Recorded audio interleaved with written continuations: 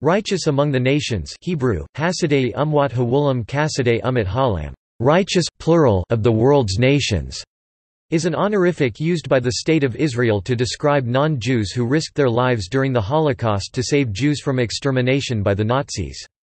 The term originates with the concept of righteous Gentiles, a term used in Rabbinic Judaism to refer to non-Jews, called Ger Toshav, who abide by the seven laws of Noah.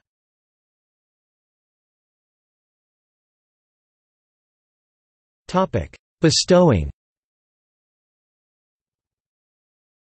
When Yad Vashem, the Shoah Martyrs and Heroes Remembrance Authority, was established in 1953 by the Knesset, one of its tasks was to commemorate the righteous among the nations. The righteous were defined as non-Jews who risked their lives to save Jews during the Holocaust. Since 1963, a commission headed by a justice of the Supreme Court of Israel has been charged with the duty of awarding the honorary title, righteous among the nations.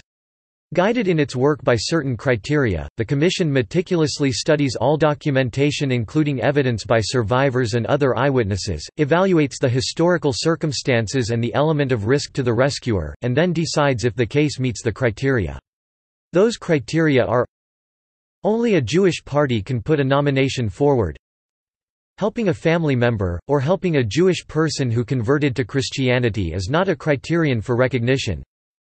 Assistance has to be repeated or substantial Assistance has to be given without any financial gain expected in return although covering expenses such as food is acceptable the award has been given without regard to the social rank of the helper.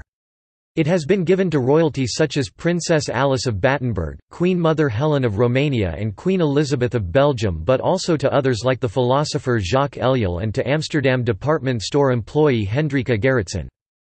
A person who is recognized as righteous for having taken risks to help Jews during the Holocaust is awarded a medal in their name, a certificate of honor, and the privilege of having the name added to those on the Wall of Honor in the Garden of the Righteous at Yad Vashem in Jerusalem the last is in lieu of a tree planting, which was discontinued for lack of space.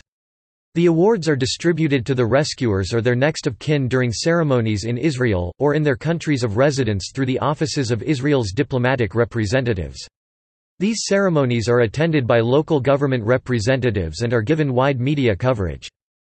The Yad Vashem law authorizes Yad Vashem to confer honorary citizenship upon the righteous among the nations, and if they have died, the commemorative citizenship of the State of Israel, in recognition of their actions."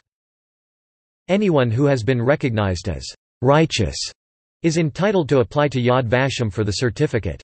If the person is no longer alive, their next of kin is entitled to request that commemorative citizenship be conferred on the righteous who has died.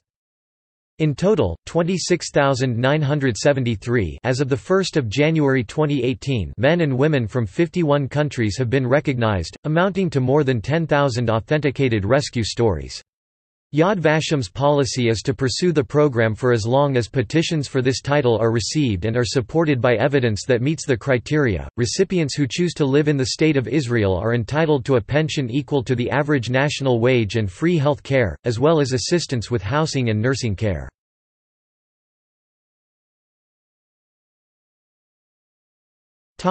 Righteous settled in Israel At least 130 righteous Gentiles have settled in Israel. They were welcomed by Israeli authorities, and were granted citizenship. In the mid-1980s, they became entitled to special pensions. Some of them settled in British Mandatory Palestine before Israel's establishment shortly after World War II, or in the early years of the new State of Israel, while others came later. Those who came earlier often spoke fluent Hebrew and have integrated into Israeli society.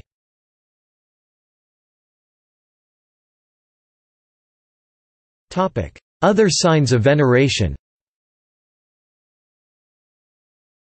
The righteous are honored with a feast day on the liturgical calendar of the Episcopal Church in the United States on 16 July. A righteous from Italy, Edward Focherini, was beatified by the Catholic Church on 15 June 2013. In 2015, Lithuania's first street sign honoring a righteous among the nations was unveiled in Vilnius.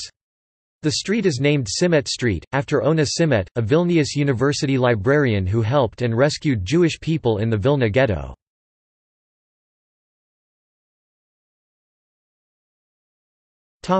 Number of awards by country As of June 16, 2017, the award has been made to 26,513 people.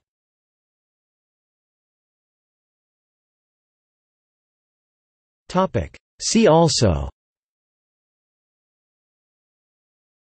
European Day of the Righteous.